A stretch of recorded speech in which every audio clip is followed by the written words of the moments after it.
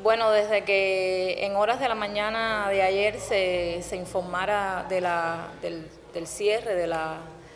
de la falla en el sistema electroenergético nacional, nuestra Dirección de Cultura, a tono con las indicaciones de, de nuestro ministerio, que en un primer momento, por quizás por las mismas cuestiones de, de esta falta de comunicación, las primeras indicaciones fue suspender la programación cultural previa evaluación y consulta con las autoridades del Ministerio, nosotros hemos estado trabajando sobre la base del, trabajo en, el sector. Eh, es por ello que en la medida en que se ha ido recuperando y en la medida en que hemos visto cómo ha, habido una respuesta del sistema electroenergético acá en el territorio, hemos ido tomando algunas medidas en aras de, no, eh, de que no exista en la provincia un apagón cultural. ¿Por qué? Porque nuestros artistas primeros tienen la disposición de seguir presentándose para nuestro pueblo en, en, cualquiera, en cualquiera de las condiciones, ya lo demostró bueno, el periodo de la pandemia y lo han demostrado otras ocasiones anteriores en que también han tenido que desdoblarse y actuar en, circunstancias que no son las más idóneas, en forma acústica es por ello que evaluado con la gobernadora, el primer secretario del partido, el coordinador de programas objetivos y por supuesto con las direcciones municipales de cultura,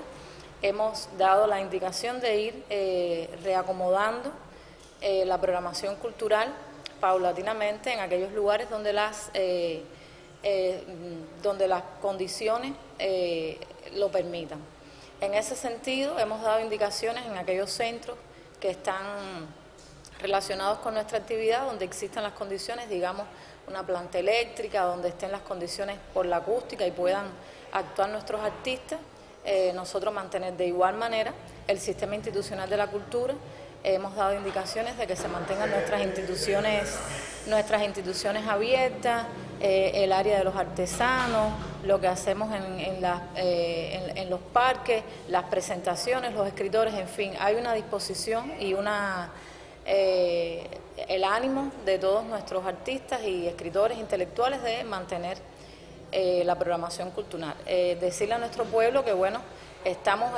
enmarcados en la jornada de la cultura cubana. Mañana 20 de, octubre, 20 de octubre será un día histórico para todos los cubanos y la disposición de la cultura es de mantener las actividades, repito, en la medida que las condiciones de la provincia lo permitan. No haremos espectáculos donde, eh, digamos, pueda irse el fluido eléctrico y, esto pueda ocasionar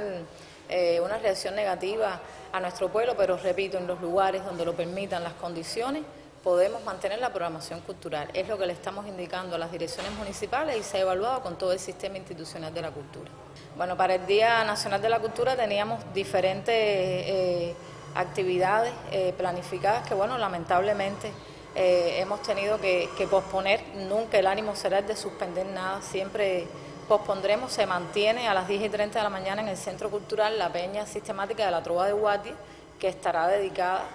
a, este 20 de octubre. Estamos evaluando con la Dirección Municipal de Cultura mantener la, actividad de, de, clausura de esta jornada que estaba prevista realizarse este mismo día en los jardines de Lunia y evaluaremos si se puede mantener la inauguración de la exposición de Saida del Río en el Museo Provincial, que aunque Saida